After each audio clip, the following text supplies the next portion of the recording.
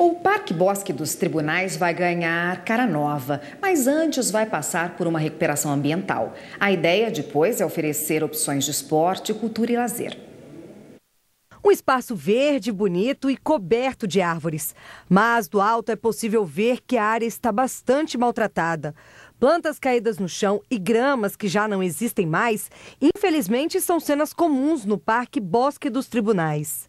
A gleba A, adjacente ao STJ, é a área mais degradada, porque foi utilizada durante muitos anos como região de transbordo para resíduos da construção civil. Né? Fora isso, nós identificamos ah, ações clandestinas de escoamento de esgoto natural nas caixas de captação de água pluvial que estão na gleba A. E a gente hoje já está bebendo a água do lago, né? Então, é assim uma situação muito preocupante. Criado em 2009, o parque tem uma área de 588 mil metros quadrados. Ele está localizado entre o setor de administração federal sul, o setor de embaixada sul e a Avenida L4 Sul, se estendendo pelas quadras 801 e 803 Sul.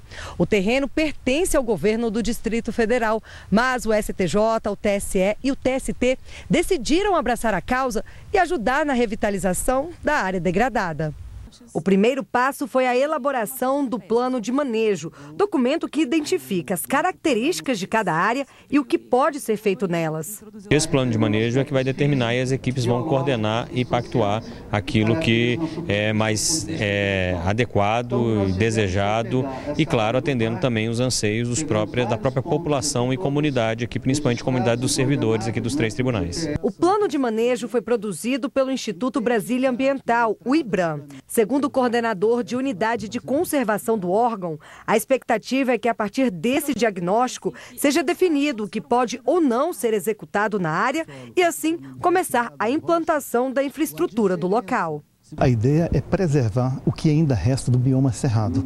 Então, o que a gente pretende é fazer com que eh, seja revegetada áreas que porventura estejam degradadas e que por sinal são várias, né? É, fazer com que ela possa ter uma utilidade ambiental e ao mesmo tempo que sirva também para a população.